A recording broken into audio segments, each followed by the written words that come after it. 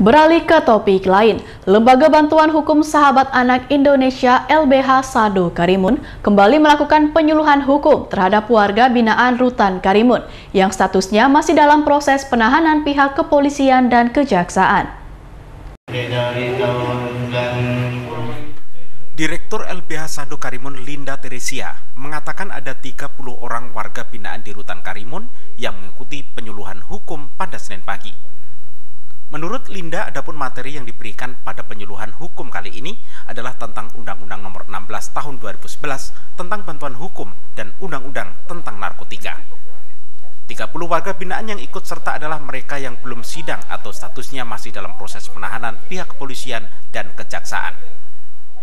Dalam kegiatan penyuluhan kami hari ini, uh, kami membawakan materi mengenai Undang-Undang Nomor 16 Tahun 2011 tentang Bankum dan juga Undang-Undang Narkotika.